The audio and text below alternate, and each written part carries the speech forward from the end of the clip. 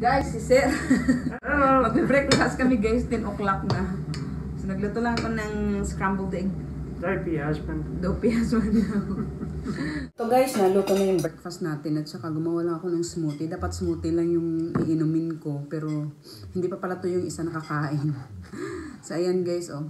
Nag-ano na ako scrambled egg. Hindi pa ako nakaano guys. Nakaligo. Kasi guys, nilinisan ko yung ano namin, spouting. Kasi nung nakaraan, tapos na ako sa kabilang gilid ng bahay namin. So, sa front na naman ako dito sa may kitchen namin banda. Pakita ko sa inyo, guys. Kain pa tayo, guys. Di ba? Mukhang ngarag yung muka. Kasi nga, hindi pa nga ako, guys. Hindi pa ako nakapaghilamos. Ayan. Nagano lang ako, guys, nag-exercise. Brunch na to. Walang breakfast. Isang tinapay, saka itlog.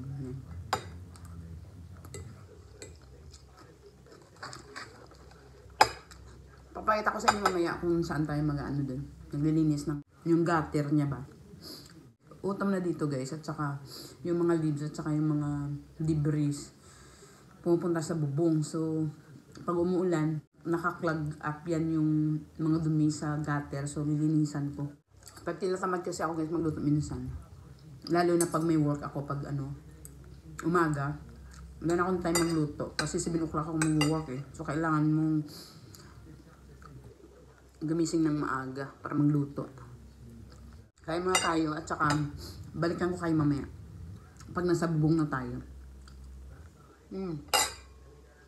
So yan guys, nandito na ako sa labas. Tapos ito guys, yung ano pala, sinabi ko sa inyo na maglilinis ako ng aming ah, spouting guys. So yun dito banda hanggang doon sa dulo. Natapos ko na.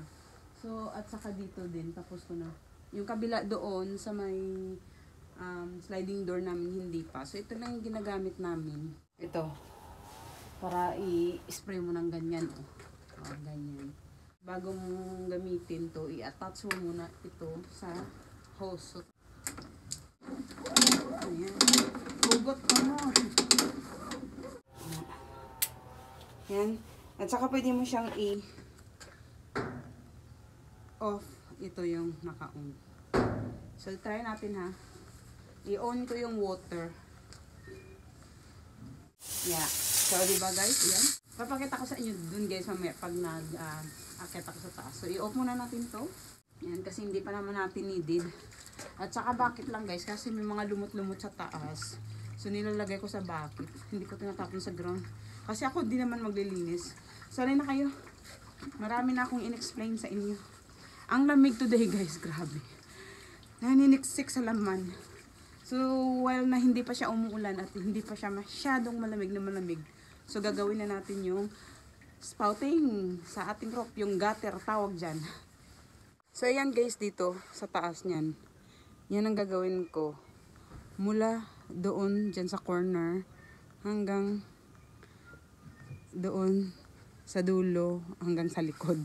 'Di ba? Pinaikot ko na kayo. Ang lamig talaga, guys. Hindi pa ako naligo. Tingnan niyo nga rag. Kaya, aakitin ko na. Tapos guys, may, may ladder tayo. Ito. So, lagay ko dito yan. Kasi yung gilid, tapos ko na. So, dito na naman tayo. Oh. So, ito yung itsura ng dito sa kabila. So, marami-rami pa siya, guys. Oh, 'di ba? Marami yung spouting. At saka ang daming ano, weave. Oh, mga doon. 'Di ba? So nakaakyat na tayo sa ladder, guys. So tatanggalin ko tong ano. Ay, lumot. lumot. Lumot diyan. Lumot dito. Ay, nakalimutan ko yung brush, guys. Kasi binabrush ko muna to eh. Nahulog yung bucket diyan, bucket chalay. Taas na tayo ng ano, ng Sierra Madre. Oh. Nabrush ko kasi muna, guys, ito. Para nawala yung ano, yung mga dumi. Hala. Para madali na lang siyang i-ano. I-irrigate yung tubig sa dulo.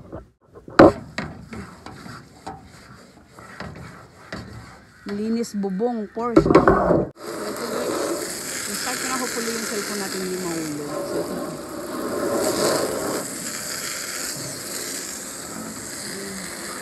Malinis na yung kabila doon. So, ito na lang yung inaalis. Wow! Ang cellphone ko mahulog.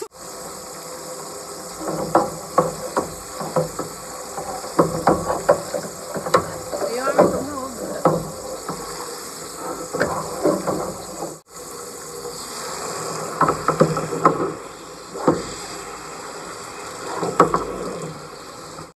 So dito naman tayo guys. Kasi malapit na tayong matapos. Para sa kabila na naman uli. Maraming ano. Maraming lumot.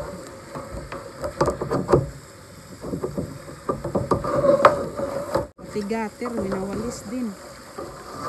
Hmm. Dami kasi guys oh. Dumi.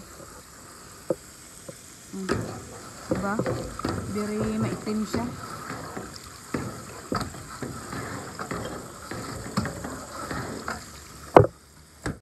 Mahirap kasi guys pag yung bahay sa'yo, kailangan mong i-maintain. Whereas na nagre-rent ka, wala kang pakialam. Kailangan mo talaga i-maintain yung in and out ng bahay.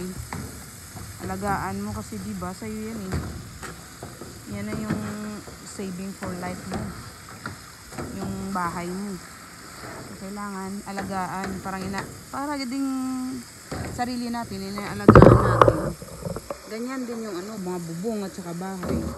At saka hanggang dulo doon, hanggang likod guys, gagawin na natin kasi tapos na natin. Diyan banda at saka I'll be back. Kung na naman tayo sa kabila. Okay guys. So proceed tayo doon sa kabilang side guys. Sakay na guys! Yeah, karik-kirik. Joke. Di ba pinagkakatawanan lang. Ah, bit-bitin. At tapos ito yung ladder ko. Tapos dito tayo sa kabila. Ito. Yung kabila dyan. Yan. Titingnan ko kung makaakyat tayo. Pag hindi makaakyat, hulog, saloy ako ni ano, ni Superman. Wow. Oh, tingnan nyo yung aking lemon. Ayan guys. Ayan ah. Bit-bitin pa more mga kabisdak. Wala nang ano eh. Wala na si Anax dito eh. So ako na lang gagawa ng trabaho ni ano. Ni Yaya Yaya. Kasi guys, wala namang ano, walang open kasi nga close. So kanya-kanyang gawa tayo. So akyatin natin yan oh. Ah. Balikan ko kay mamaya ah. Tapusin muna natin tong trabaho kasi baka mamaya hindi na mata- matapos. Hala, sige lang ah, vlog-vlog dito. See soon. So ayan guys, tapos na natin dito. Yan oh, malinis na 'di ba? At saka diyan. Ito naman guys, oh tingnan nyo, ang dumi-dumi. Hindi ko yata ito nalinisan nung nakaraan eh kasi nakalimutan ko mayroon pala dito. So yan guys, hanggang doon. Pero titingnan natin kung hanggang doon makapunta tayo. Ayan oh, grabe oh. Uy, mga dirt. So, kailangan natin kalkalin yan. Grabe. Namuo na. Diba? Oh. Kalkalin na natin to. Hmm. Dami. Puno. So, yan. Ew. Sumuksok sa kamay ko. So, ayun guys, natapos ko na yung ano, bubong. Nagtigil muna ako guys, so, kasi nasugatan ako dun sa may ano, bubong. Ayaw tumigil ng dugo. Grabe. Maliit lang naman guys, pero talagang ano, high tide yung ano, dugo. Pulang-pula. Grabe. Sakit. Nasagi ko yung ano guys, yung yero. Kaya dumugo yung kamay ko. Grabe oh. Natuklab yung balat. Kung ang liit-liit lang naman dito, kaso lang grabe talaga yung ano ng dugo. Oh. Grabe. Ganin ko muna to guys, maligo ako. Tapos ko na yung ano guys, rope. Kaya hindi ko na pinakita sa inyo guys kasi tingnan niyo kung gaano kataas. Ayan. Nagko-concentrate ako na linisan na linisan siya ng masyado. So grabe din yung nakuha ko. Ito yung mga nakuha ko guys. Oh my god. Oh, tingnan niyo yung dugo sa kamay ko. Vlog pa more. Dumi-dumi ng roof kasi dyan banda guys, hindi ko nalinisan pala yun ng half a year ago. So, tingnan nyo yung nakuha ko. Ang dami. Daming lumot. Oh.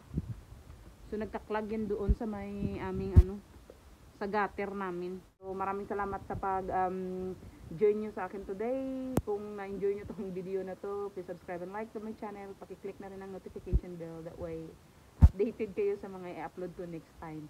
Okay guys, see you. And don't go out, stay at home, be kind to one another, and keep safe. Bye!